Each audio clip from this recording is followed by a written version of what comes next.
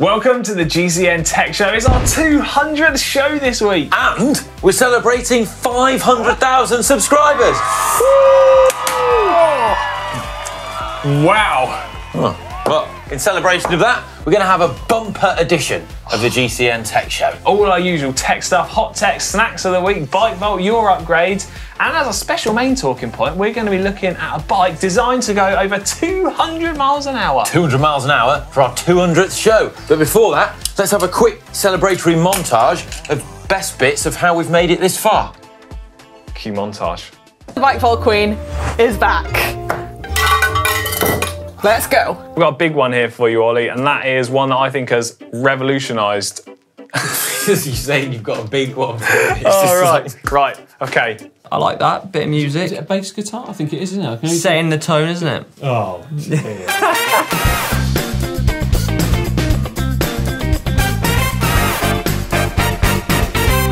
I just can't think of anything. How about Bike Vault Bike of the Year? Good idea. Thanks, suggestion boy. Yeah, Bike Vault Bike of the Year. They'll love that. Beyond exciting revelation of our new GCN Tech presenter. Do this? Yeah, we'll do that, yeah. Whoa. Steady. Steady on. Right, now we've got that out of our system, let's take a look at last week's poll. So last week, Hank and I were let loose. You were uh, off on your holidays. Um, so we asked, should there be an industry standard bike and test method so we can compare all bikes on an equal method? 56% of people have said, yeah, let's make life much easier. I think it'd be great. 22% of people said no, leave the brands to do their thing, and 21% of people said not bothered either way around. Oh, yeah, fair enough. Not bothered. Not bothered. Anyway, uh, on to our main talking point this week, and we're looking at the land speed record for bicycles in a slipstream. Now, at the weekend, well, last weekend, I was actually at the Handmade Bicycle Show, uh, the Bespoked Show in Harrogate, and I actually caught up with Andrew AJ Jones, who is the builder of Moss Cycles and the man behind the Silver Eagle, a bike which we previously looked at that was aiming to do the land speed record. And since then, this bike has in fact been ridden into the Guinness World Record book by Neil Campbell and is now logged as the fastest male rider on a bike in a slipstream, clocked at 174 miles an hour, which is absolutely bonkers. Yeah, yeah, insane. Yeah. 174 miles an hour on a bike. Uh, the absolute record, we should point out, is actually held by Denise Mueller Korenek and is 184 miles an hour. But Neil is technically the fastest male, and they're looking to well break the absolute record in the future and possibly go 200 miles an hour. So to find out more about how the record attempt went, how the bike fared, and what their plans are for the future, and if they're going to modify the bike in order to break the absolute record, we chatted to AJ.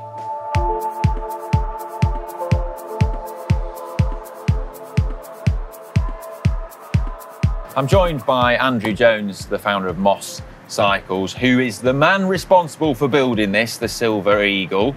Um, firstly, I need I need to ask you, you know, how did you go about initially building a bike for this purpose that could go this this fast? um, Neil, the rider, mutual friend, uh, we, rode the velodrome together. He said, I've got this friend who wants to break this record. He said, why don't you come over to your house and we'll have a chat? And I was like, what?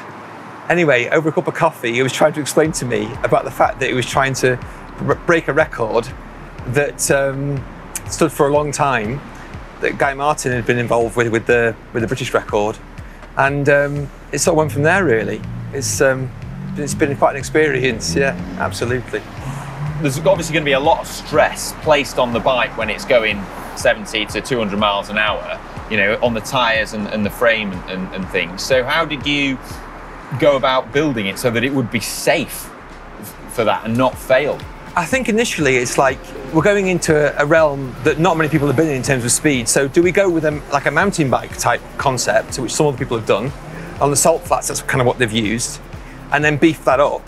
Or do we go, well, ultimately, if we want to break 200 miles an hour, why don't we just start with a motorbike? So at that point, as a frame builder, it's right, okay, so I'm not used to working motorbike parts. So we got a KTM junior motocross bike, And from there, we started to develop the spec of how the bike might look. Neil was quite experienced at going like 100 plus miles an hour, and he'd done that on a tandem.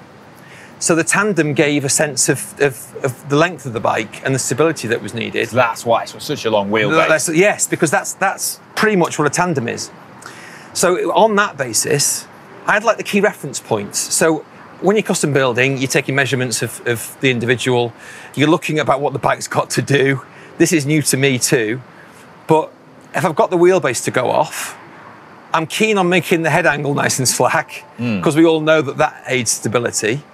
And then one of the key things that I was keen on, which I'd looked at other iterations of building, which I thought kind of got it wrong, I was really interested in a low bottom bracket um, distance from the floor for that low center of gravity. So with that as a starting point, I got I got the CAD software out and we started playing around with those with those points and started building from there. So how many designs and different iterations of the bike did you go through before you arrived at the, the final final thing? So the time frame was very small. So Bespoked was a convenient time to launch. Bespoked in that year was in April, and he came to me at the end of February. So I had literally weeks to come up with this. So to answer the question, this is the one and only bike. But there was a number of CAD model iterations that we went through to get to this point. The bike has evolved a bit because some of these bars here, this was open initially for the first runs. This- these didn't exist. So we've put these in extra because I'm constantly sort of concerned about, obviously, I'm the frame builder. And all the time, this bike is getting a battering. And you want to be strong. Yes.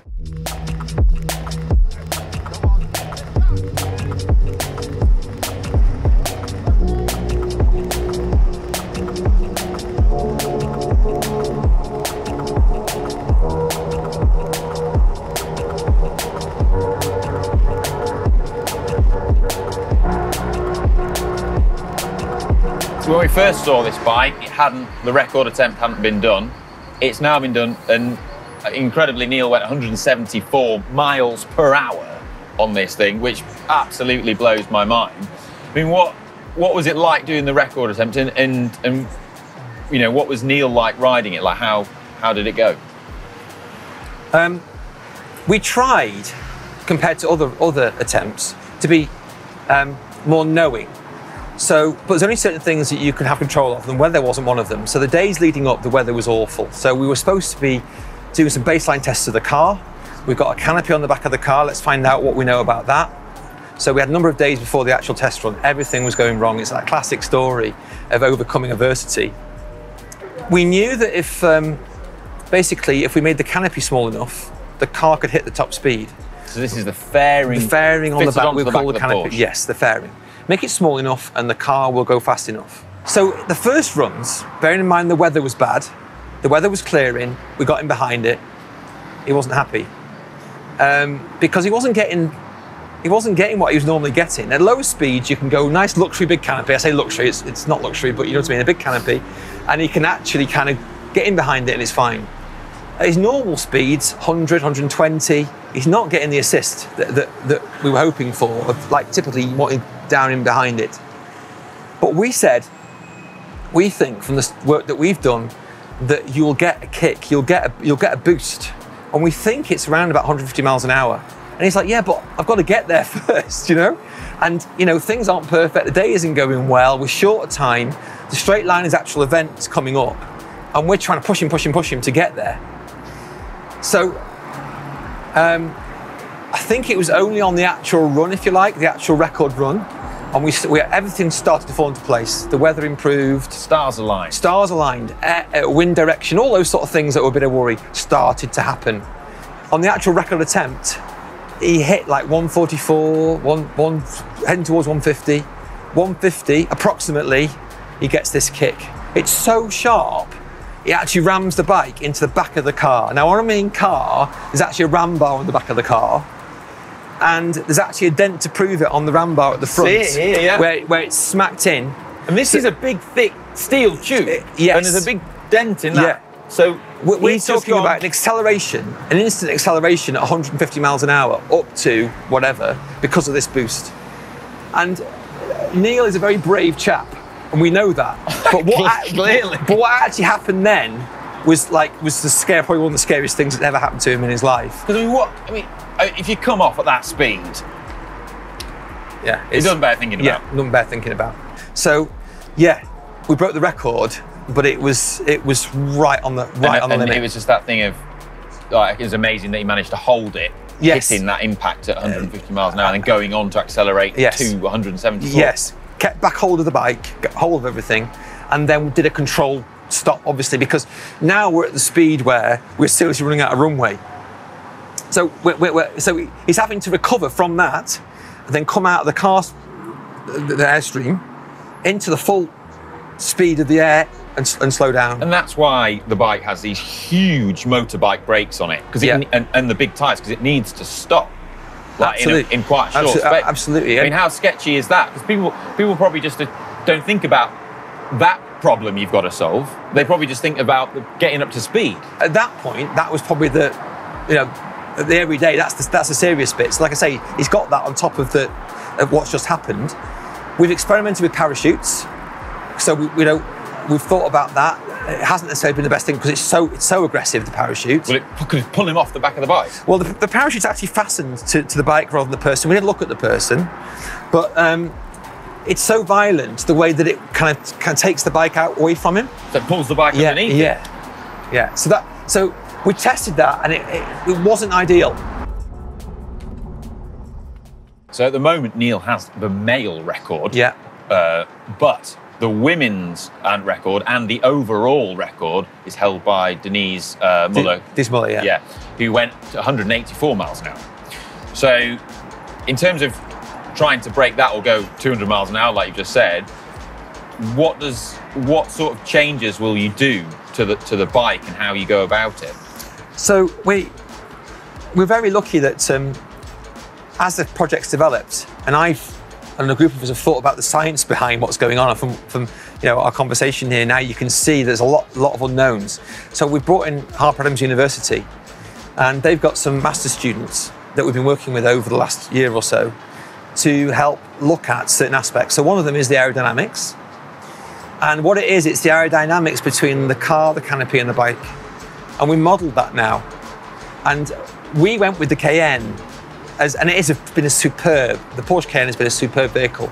But we've realised that the height is an advantage, but also disadvantage because of the airflow underneath the car. We're getting all kinds of turbulent air that we, we don't need. But if we went to like a Porsche 911 type concept, then we've got to work the canopy up to a shape, the fairing at the back. And that creates problems.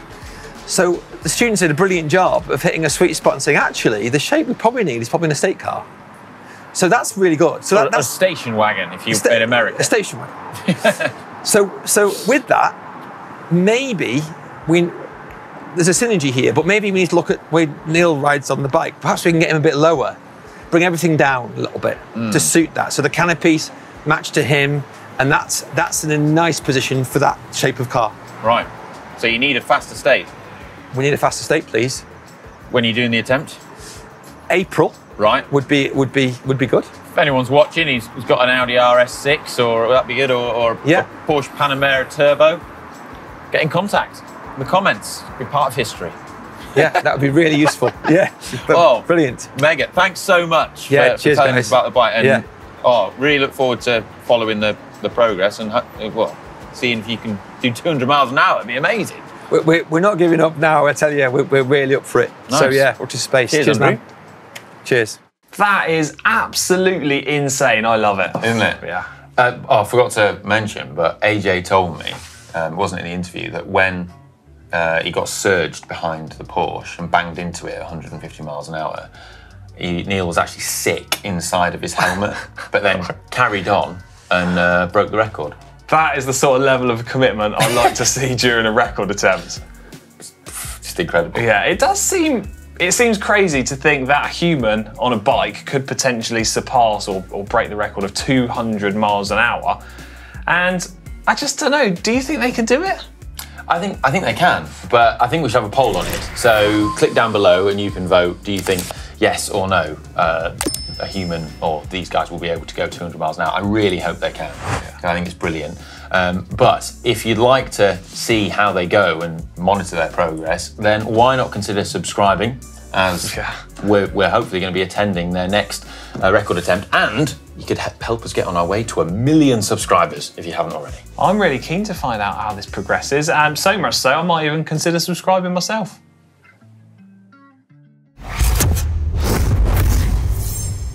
It's now time for hot tech, and kicking us off this week, we have some brand new saddles from renowned saddle manufacturer Selle San Marco. It's called the Short Fit 2.0.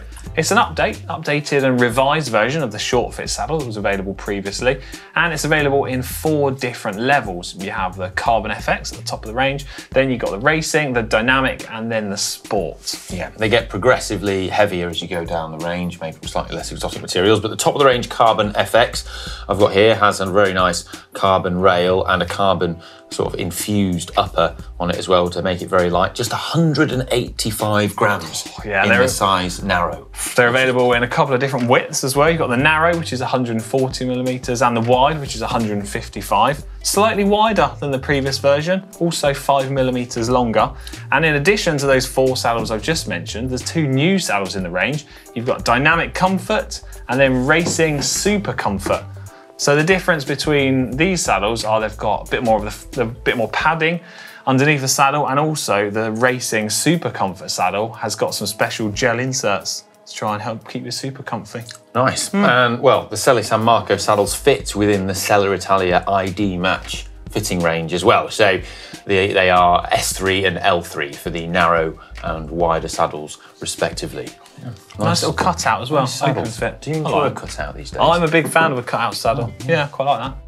Next up, we have a new gravel bike from Wilier. The Wilier Rave has finally officially been launched. You may remember we first saw it back at Eurobike in September, but if you didn't see that or need reminding, it's a high end carbon fibre bike that's intended for racing and performance riding on both gravel and road. So the idea is that depending on how you spec it or how you set it up and the wheels that you put in, it can either be a race focused road bike or a gravel bike. I think it's a really cool approach to take, and you've got a super versatile bike, like you say, that you can just mix and match components to suit different events or what whatever you fancy riding at the Yeah, time. it means whereas in the past you might have had to have had two bikes, you could potentially just have one bike. Is it a true do it all? Well, Maybe, yeah. We'll see, but owing to owing to the way it's designed, Villiers is actually offering the bike in different spec builds. Some that are road focused with road group sets on them and road wheels and narrower tyres, and then gravel focused builds as well with sort of one by setups and bigger tyres and Yeah. things like that. That's really cool to see. And they've also got some super cool paint schemes, haven't they? Yeah, the paint jobs look Oh, very I love on it. particular mm. bike.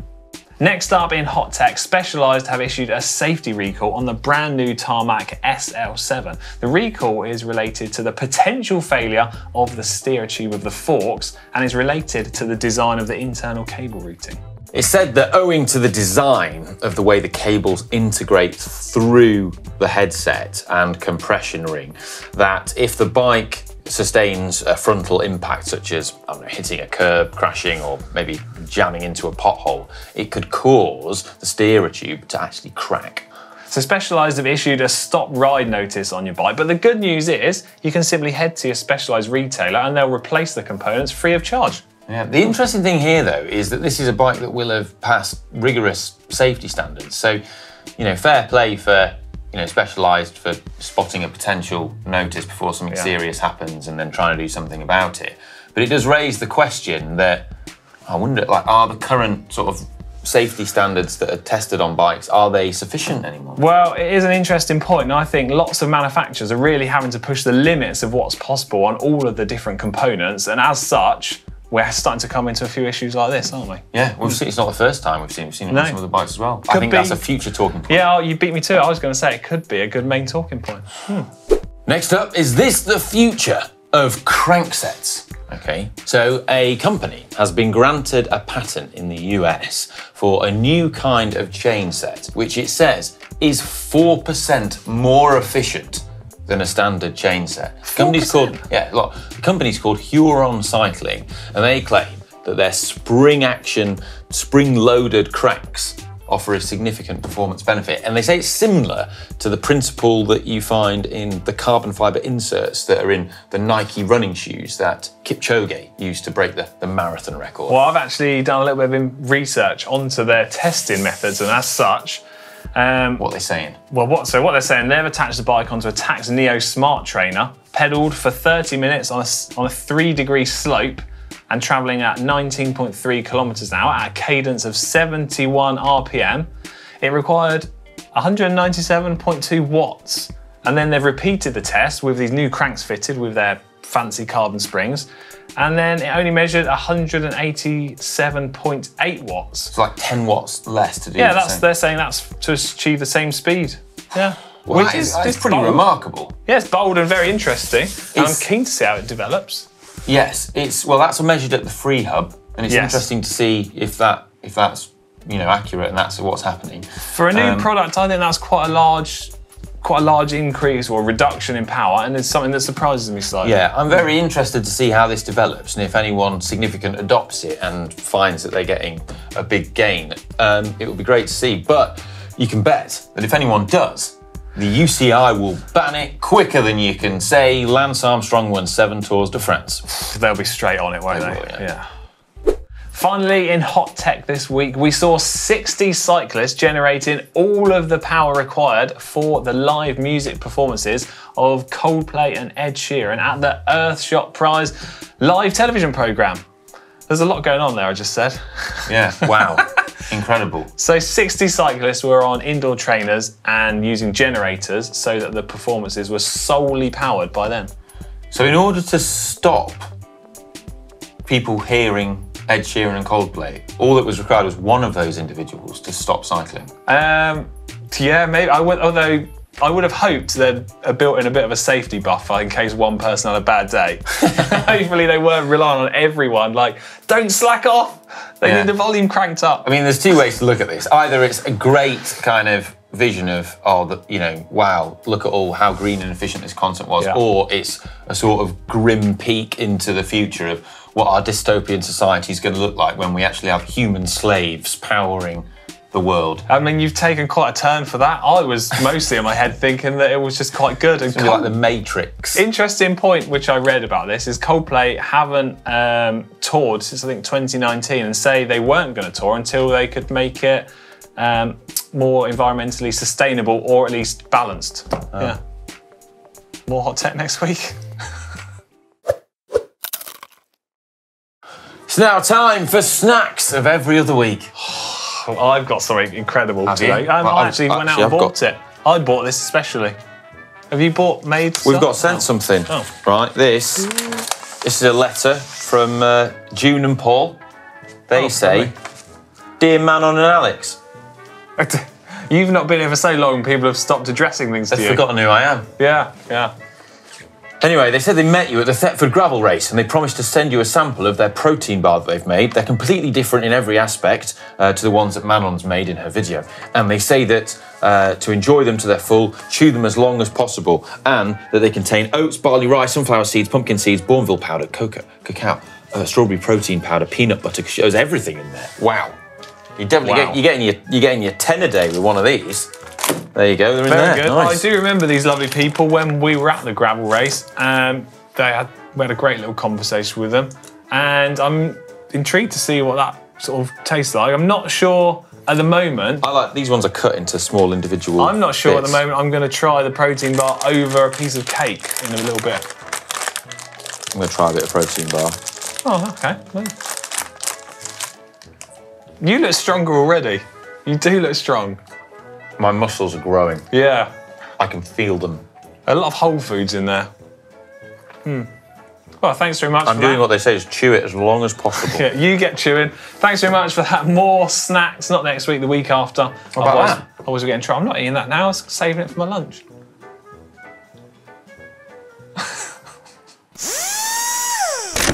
Cha-ching! It's now time for Screw Riding Upgrades by Upgrades, where you submit evidence of the upgrades you've made to your bike's equipment or cycling lives for a chance to win the ultimate prize. GCN, water, water bottle. Right, I wasn't here last week. What do we have? Um, last week we had Sponge Cake Jake's NOS track build up against Pedal Dammit Titanium Facebook Marketplace build. You're not going to believe this. 50-50, split decision. Dead split. Maybe we're going to have to take it to the UCI judges. No, we're not. It's the 200th show. You can both have a bottle. Woo! Blow the budget. Ah. Oh, that's it. Um, I'm going to leave Wiggles the Caterpillar just there while we go through this week's upgrades. Okay. So first up, Stal Force says, "Hey guys. He submitted the Cutty Sark. no, I don't think it is the Cutty Sark. Scroll down a bit like- more. There's the bike underneath. Oh, There you right, go. there it is. they say, found this nice looking bike on eBay, bought it, gave it a little refurbishment. New tyres, inner tubes, new brake pads, new brake lever, new Oh, lights. mate. Last Gold but chain. not least, gold chain, COVID screen, fist bump. Um, wow, this would be the ideal little commuter bike, I, I think suppose. it's a, well, a bargain. A bargain little runaround. I think it, it's cleaned up lovely. Taz. it's, just, it's smart, isn't it? Little dynamo on the front hub, Oh. or the front wheel, sorry. Um, maybe not a bike particularly optimised for speed and efficiency, but it will get you to where you're going just perfectly. The beautiful thing about bikes, Alex, is that they can be so many different things to so many different people. Never forget. Thanks. It's not going to be easy though because we're up against CR Sandelli. And CR Sandelli was very lucky to get an absolute steal of a deal on this frame set and then set out to build his first electronic bike. Looked around on some uh, some auction sites and got a great deal on some used SRAM red E-tap and then used a crank and got a Quarq power meter as well. Then put full Bontrager Triple X cockpit on there, a Specialized saddle, and topped it off with these really nice Hunt 35 Aero disc wheels and oil slick spokes. I love oil slick spokes. Big fan of the Prism paint job on that frame. It's very nice, isn't it? Yeah, I do like that. Quite like real glittery on it as well. Yeah, go- I mean, as, Yeah. as a sort of building it up with a steel of a frame set and to get a nice carbon bike, that's you've done a cracking job. That's a really, really smart bike that I would say looks more than the sum of its parts. yeah, I don't- you've caught me off guard with that that phrase. Yeah, I think it's amazing. Well, anyway, it's not down to us. You decide which upgrade is best by voting on the poll. The link to the poll is in the description below. yeah, And um, I think I think I know which way this one's going next week. Hmm, okay. It's now time for the Bike Vault where you upload pictures of your bikes and Ollie and I judge them to be either nice or super nice. If they're super nice, I ring the bell. First up this week, this is Bolo, and this is the most super nice bike from last week. Check this out. It's a beautiful tarmac SL7. I wonder if it's been recalled. Hopefully it's Hopefully, had it's the upgrade done. rectified the potential issue in the Yeah. steerer. Um, I like the paint job on this one. Yes. It's very cool, the sort of monochromatic thing going on there, and I like that it's so clean and neat with this one by SRAM SRAM Force. Uh, it's, uh, it's just it's very good. Yeah. SRAM red, isn't it? That one. Well, there you go. Everyone voted for it, so fair play. Nice Yes. one. Right, first up this week, we have got a submission from Mayor B. Big fan of the show with their Specialized Dolce. In the New Forest, no less. yeah, short and scenic route apparently. Very well presented bike in a Yeah. lovely rural location. Aligned. Oh, rear tyre valve not aligned. Oh, uh, minimal accessories though. Yes. We've got cranks nearly aligned. I think it's in Biggie Smalls. What we saying, Alex? What we saying? I don't want to start on a negative this week. It's so the I- 200th show. It's the 200 show. I'm feeling generous, and I know Mayor B is a big fan. Yeah. Yeah. Okay. Right. Super, nice. Whee. Uh, next up, we've got Fabz, and and he's got his Merida. Here it is. Oh, yeah, like that. What are these in the background? Geese. Um, they are. They're Canadian geese. Look at all those chickens. Yeah, in the background, gnawing away at that field, yeah. just tucking it. right. Valves. Valves are That aligned. field does look very tasty, doesn't it? I mean, Looks they lovely. are. Not one of them's got their head up. They're all just. What I would like to point out also is that the Yum, yum. angle of the saddle almost perfectly mimics the horizon behind it. Yes. Um, I'm trying to see how, how it's actually stood up. This bike. Oh, it's against. a- stand, maybe. No, I think Is it's it a curb? pedal. I think it's up against like a kind of curb edge. I think that's a super nice. Yeah. 200 show. You know, we're not going to be harsh. super nice. isn't it? Super nice. Next up, we've got H. Wittin, 1967, with um, with with a Parlee Chebacco. Ooh. Cool, uh, cool gravel bike. The Chebacco. It's been around a while. Must it be was the of the first perspective gravel of bikes. how this picture's taken, but the wheels look massive compared to the bike. Maybe it's, just Maybe it's a small bike. smaller frame. Yeah. Um, I've I've Parlee do are quite good at doing custom paint jobs and custom options. So I've not seen one in this red before, but it's a very nice bold red. I, I quite Yeah. like that. Yeah, I like that. Um, we're not in Biggie Smalls, but And we've got in one water bottle. one water bottle. But I think, oh, I'm, yeah, like you Quite say, jaunty angle as well. like you say though, I think it's a super nice bike, isn't it? Super nice guy. move. this guy today. Super nice. Next, um, Daniel.free says he got soaking wet, but had a lovely ride through the northern German countryside. This is a Canyon Grizl A Canyon Grizl. CF SLX 8, and it's one by. Wow, and it's got 650B wheels in it. Those tyres look great, don't they? Oh yeah, Do you know what? I've not seen a Canyon Grizl, and it's got Ekar, yeah. Campagnolo, Ekar. in it. Size got a grizzle. Do you know what? I think it's really cool. And people are going to go, yeah, but it's got all the bottles and, and stuff on it. But it's that's dirty. what it's specifically for. gravel bikes. Mm, That's gravel bike. The gravel bike dispensation. Yeah. They're allowed. The special gravel bike dispensation. Yeah. Super nice. That cassette's very clean, though, isn't it? Yeah, I do love a clean cassette, so Mm. extra points for that if, if I could award points. Um, and last up this week, we've got Ado Sel- Sedler, who's got his Scott RC20. What do I you mean, make of is that? definitely nice. Is that a sort of like real brown leather saddle, or is it just the sunlight hitting it? I'm not entirely sure. Not entirely sure. Cranks are the wrong way round. Chain is incredibly clean, so maybe that can counteract the cranks being wrong. Yes. Yeah. I mean, the, uh, something that's, that's that's triggering me a little bit is the way in which the bike isn't properly centered in the frame of the photo. yeah, but we could we could just we could crop that a little bit out Yes, because but that you know way what? we can award it a super nice. I think it's a super. nice. it's the 200 show. I don't give a damn. It's having a super nice. Oh, there you go. That's it for the special edition 200 Tech Show. Hope you've really enjoyed it, and certainly for me, I think it's the first week ever we've had super nice all round. A clean sweep. A clean sweep. That'll never happen again. No, well- unless we reach a million subscribers. So we know what to do. Yeah, hope you enjoyed the show. If you have, let us know in the comments section down below. And well, we'll both be back next week, won't we? See ya.